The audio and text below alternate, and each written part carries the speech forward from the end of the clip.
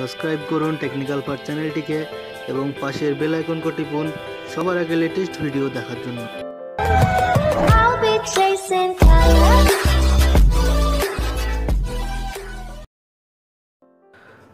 নমস্কার বন্ধুরা technical part চ্যানেলে আপনাদেরকে সবাইকে স্বাগতম এই চ্যানেলটিতে সমস্ত সরকারি নিউজ আপডেট চাকরি জব এবং বেতন কমিশন সমস্ত বিষয়ে সবার আগে এখানে আপলোড করা থাকে।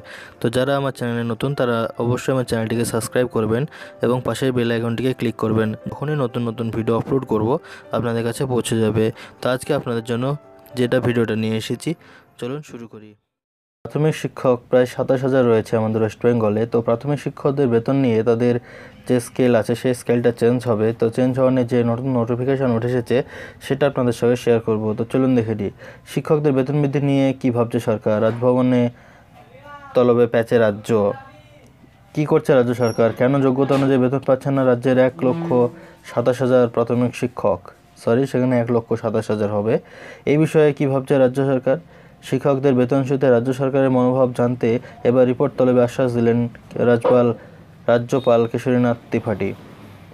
বুধবার রাজ্য শিক্ষক দপ্তরের বিরুদ্ধে যুদ্ধ ঘোষণা করে যোগ্যতা অনুযায়ী বেতন বৃদ্ধির দাবি জানিয়েছিল রাজ্যপালের দ্বারস্থ হন উস্তি ইউনাইটেড প্রাইমারি টিচার্স ওয়েলফেয়ার অ্যাসোসিয়েশনের একটি প্রতিনিধি দল। রাজ্যপালের সঙ্গে দেখা করে বেশ কিছুদিন দাবি দেওয়া নিয়ে ডেপুটেশন জমা দেন প্রতিনিধি দলের সদস্যরা, তুলে ধরেন নিজেদের দাবি দেওয়া। এদিন রাজ্যের এদিন রাজ্যপালের কাছে ডেপুটেশন জমা দেওয়ার পর সাংবাদিক বৈঠকে উস্তি united primary teachers welfare association সম্পাদক পৃথা বিশ্বাস বলেন, আমরা খুশি রাজ্যপাল আমাদের কথা শুনেছেন। রাজ্যপাল জানিয়েছেন, আমাদের দাবি দেওয়া নিয়ে রাজ্য সরকারের কাছে জানতে চাইবেন। এই বিষয়ে রাজ্য সরকার কী করণীয়, রাজ্য সরকার দেওয়া উত্তর তিনি আমাদের জানাবেন। এদিন এই ডেপুটেশনের কর্মসূচিতে উপস্থিত ছিলেন রাজ্য বিধানসভার বিরোধী দলনেতা আব্দুল মান্নান ও বাম পরিষদীয় নেতা সুদন চক্রবর্তী, সিপিএম বিধায়ক আমজাদ হোসেন। এদিনের এই কর্মসূচি প্রসঙ্গে সন্দীপ বিশ্বাস বলেন, আমরা রাজভবনে রাজ্যপালের সঙ্গে দেখা করে আমাদের দাবিপত্র পেশ করেছি।